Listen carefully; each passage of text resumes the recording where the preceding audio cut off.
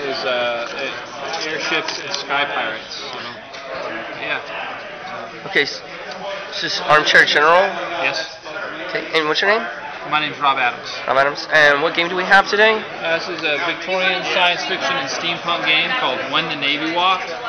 Um, it uses, it draws heavily on Edgar Rice Burroughs and H.G. Wells type uh, science fiction, and it's a, kind of a romance fantasy science fiction. This is our first model, the Cyclops, uh, painted up, and uh, it's for the Germans. And in this game, we use the Germans, not the Prussians. Uh, and the Germans, uh, and versus the great powers, you have uh, British, Germans.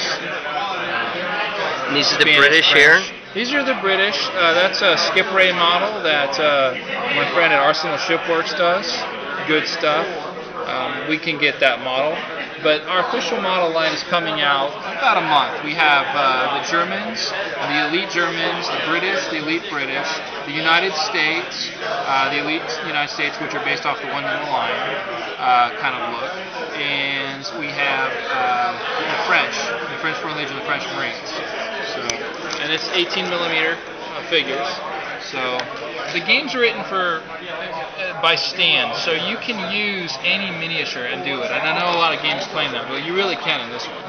Um, you can uh, use 2 millimeter, 6 millimeter, 15 millimeter, all the way up to 32. We've done it. What kind of dice do you use? Two, uh, the game requires only die sixes.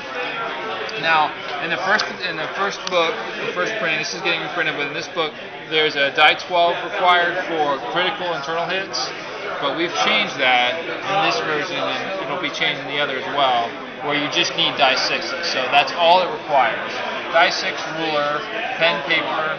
Uh, we'll have counters and markers available. Uh, other game aids will come online. Uh, And- you can and- go to whenthenavywalked.com is our website. All right, thank you. Thank you.